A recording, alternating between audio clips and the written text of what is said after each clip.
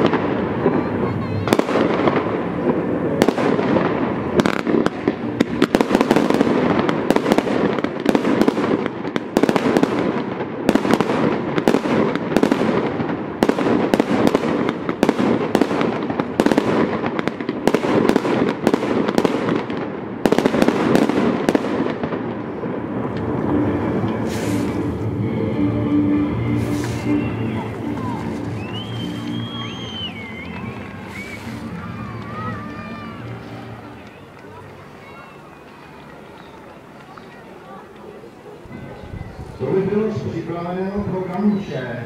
Samozřejmě byl to